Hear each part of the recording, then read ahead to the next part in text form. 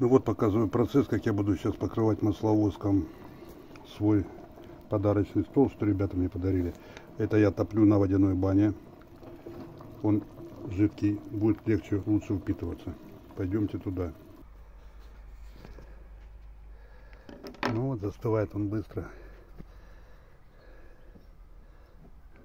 Теплый. Беру и втираю.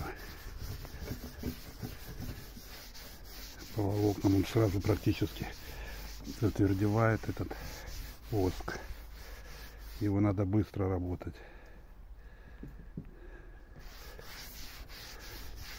Все в таком вот ключе сосна будет покрыта. Видите, он практически сразу застывает, надо в темпе растирать его. Так-то в баночке он жидкий, баночка горячая. Вон он сразу на поверхности. Тут еще жидкий за счет того, что его тут, видите, вот горячая банка. Маленько пролил. Он желтенький, вкусно пахнет лавандой. Масловоск мой. Я затираю, потом разгоню, конечно же, войлочным кругом.